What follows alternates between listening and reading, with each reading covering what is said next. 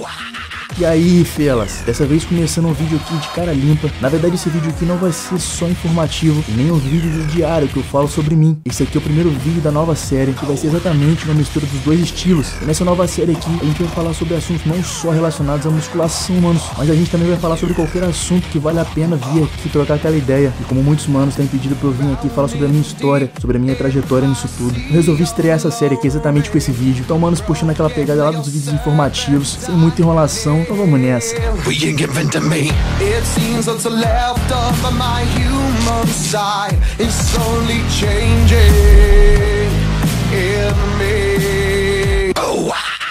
Pra gente poder começar isso tudo aqui, antes mesmo de aparecer em YouTube, Facebook ou qualquer coisa do tipo, a gente vai voltar lá no início de tudo, mano, no que me motivou a começar a treinar, que me motivou a começar isso tudo aqui. E pra quem também não sabe, eu tenho um desvio no osso externo do peitoral que chama pectus excavatum, quando eu era moleque, quando eu era bem novo, manos. Pra vocês terem ideia também, eu nunca tinha tirado a camisa em público até então, sem contar que a cirurgia para poder arrumar isso é tensa pra cacete. E pra quem nunca ouviu falar, na verdade tem duas técnicas. A primeira delas é basicamente quebrar todos os ossos do tórax e reconstruir tudo do zero. E a segunda delas, que é mais tranquila, mais tranquila, é meter uma barra de aço por baixo do osso. E também até tem outras técnicas, mas na minha idade já não valia mais a pena fazer nenhuma delas. E também é óbvio que eu não estava disposto a nenhuma cirurgia. E como uma hora ou outra a gente acaba ficando de saco cheio disso tudo, eu comecei a pesquisar sobre alguns atletas que também tinham esse desvio. E na época eu descobri até mesmo um atleta da Optimo, que também tinha, e ainda assim o cara era sinistro. E foi a partir dali que eu pude ver, mano, que se eu começasse a treinar forte e levar tudo a sério, eu ia acabar conseguindo me livrar daquilo que me incomodava tanto. Então, para isso, bora lá para 2009.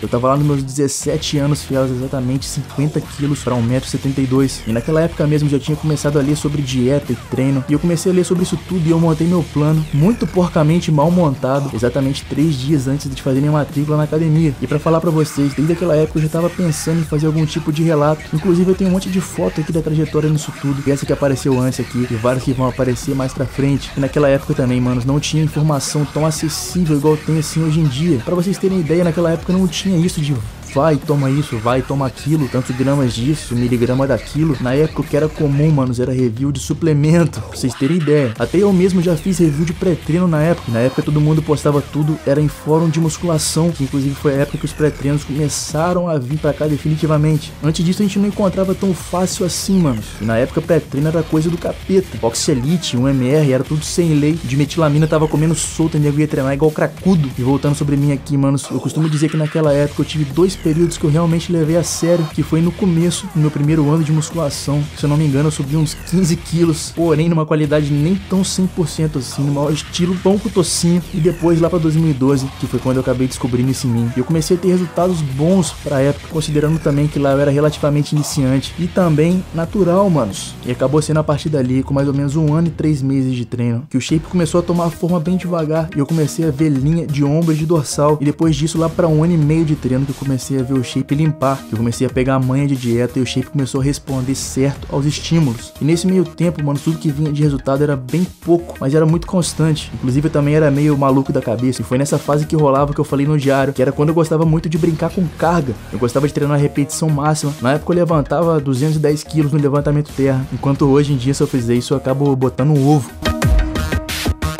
Oh.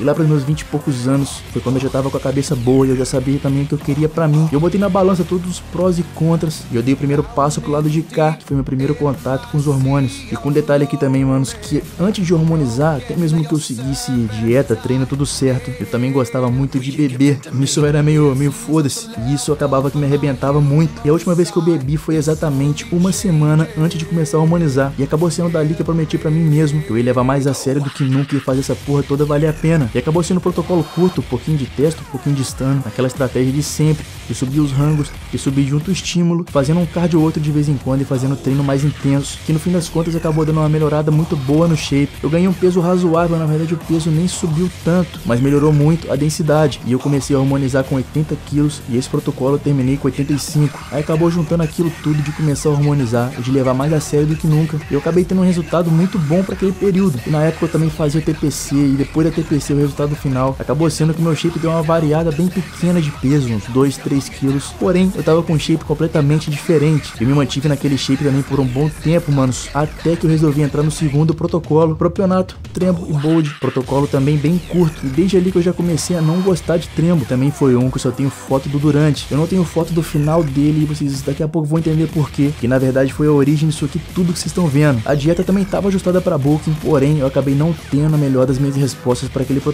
E durante essa fase, manos, na fase que eu tava bem pesado, beirando lá os meus 90 quilos, que eu consegui levar um tombo na faculdade que ferrou com tudo. Mas falando de tombo assim, vocês não estão entendendo. Foi um tombo que eu consegui romper a porra de um ligamento do ombro. Nisso lá vou eu pra consulta no médico, um médico meio bosta daqui da cidade, me colocou para tomar analgésico por 10 dias, falando que eu tinha tido só uma luxação. A porra da minha clavícula tava aqui em cima, já quase coçando a minha orelha. E o arrombado veio me falar que foi uma luxação. Mas no fim das contas eu acabei indo no médico melhor lá na minha cidade. Pra galera da área de saúde, eu acabei descobrindo que eu tinha rompido o acrômio clavicular e eu tinha estirado junto tanto o trapezoide quanto o conoide. Depois disso eu acabei marcando minha cirurgia num hospital especializado em ortopedia. Eu botei uma porra de um pino do tamanho de uma caneta dentro do meu ombro. E até então, manos, eu não tinha minha cicatriz. E acabou sendo depois disso tudo, manos, já operado com uma previsão bem zoada de voltar a treinar. De talvez ficar de seis meses até mesmo um ano sem fazer nada. Que foi quando eu realmente comecei mais a fundo do que nunca sobre o bodybuilding. E eu comecei a estudar de fato todas as dúvidas que eu tinha. Também fui atrás de reunir o máximo de informação que eu podia. E foi assim que eu nasci, felas. Desde um pouco antes disso tudo, já escrevi alguns textos falando sobre hormônios e treinos em geral. E na época que tava dominando eram grupos, meus caros felas, nem tanto assim página, nem nada do tipo. Eu era administrador de alguns grupos grandes na época e de algumas páginas também. Eu postava meu material lá e até hoje eu carrego alguns grandes amigos daquela época. E eu há muito tempo já pensava em ter um canal, felas, e muitos manos também me falavam para fazer um. Eu aproveitei que eu não podia treinar para estudar ao máximo e dar início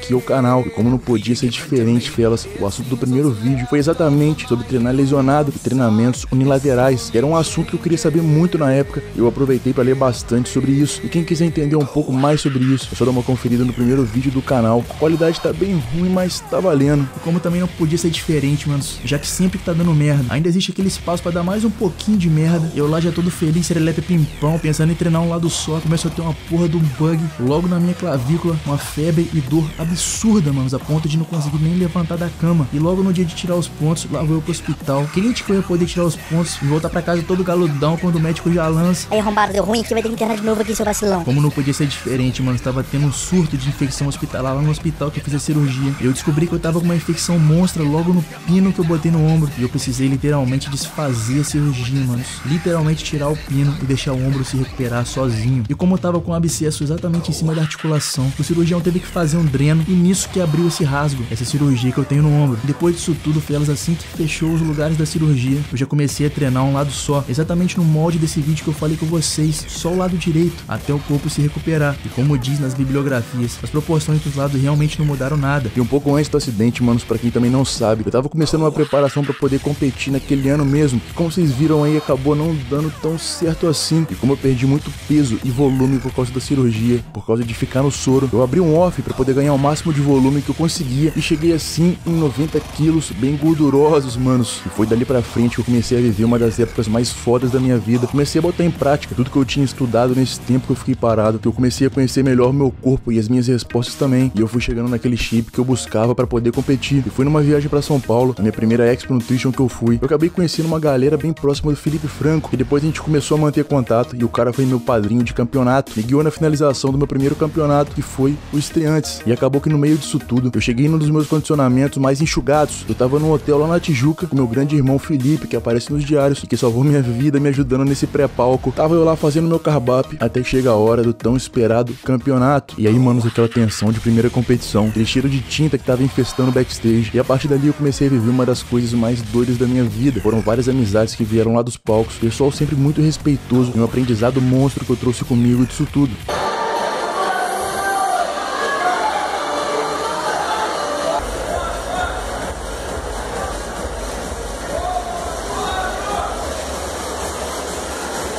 Don't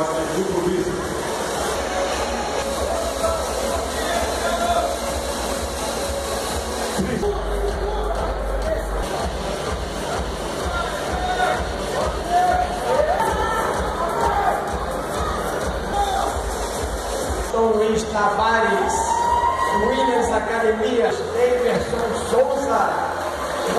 Aldinho, treinador Elcio Santos. Porra! Caralho!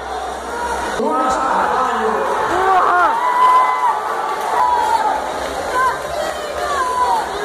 Porém, só num ponto que eu dei um vacilo muito grande, como era no primeiro campeonato e eu tava muito tempo numa dieta insanamente restrita, eu saí do campeonato comendo qualquer coisa que eu vi pela frente e acabou que isso me deu um rebote monstro de 12 quilos na primeira semana e eu voltei pros meus 90 quilos. Já dali pro segundo campeonato foi um intervalo de 8 semanas nessa preparação já tava fechado com o Mano Carlão, que eu falo tanto pra vocês nos diários. O cara foi um pai pra mim nesse período, tava sendo sempre meu olho crítico, aquela pessoa que vai chegar e te falar, vai lá, segue na estratégia que você ainda tá cheio, ou até mesmo pra poder falar, já repõe de uma vez que já ficou bem flat. Muito treino de pose, mano, extremamente depletado, vazio, mas treinando pose direto e o mano Carlão lá sempre ajudando. E acabou que nisso tudo, juntando tudo que eu já tinha aprendido, ter evitado tudo que era erro da preparação para estreantes. E junto com o olho crítico do mano Carlão naquela fase que eu já tava com o psicológico fudido, acabei chegando num shape que para mim foi um dos melhores que eu já estive até hoje. E o resultado disso tudo foi terceira colocação no Mr. Rio e a classificação pro Brazuca, mano, que seria depois de um mês. E naquela época eu ainda não sabia como que eu ia fazer a manutenção do Carbap no caso de um campeonato que durasse o dia inteiro. E lá no Brasileiro foram três apresentações eliminatórias, as prévias e as finais, manos. E no meio disso tudo acabou que eu cheguei no talo para a primeira delas. Eu passei das eliminatórias, fiquei 100%, exatamente 10 e meia da manhã, que era a hora prevista para as finais. Porém, as outras fases acabaram atrasando demais, manos. Eu comecei a me sentir mal pra cacete. Acabei carbando demais para poder passar esse mal-estar. E isso arrebentou o resto do shape, não passando assim para as finais. Para vocês terem ideia, manos, as minhas finais estavam previstas para de manhã e elas aconteceram no fim do dia. E esse pós-campeonato já foi bem mais tranquilo. Eu aproveitei para focar na equipe, para dar um gás na galera da consultoria e voltar a produzir os vídeos. Até que no fim do ano, minha vida deu uma volta total para pior, manos. Eu acabei tendo uns problemas pessoais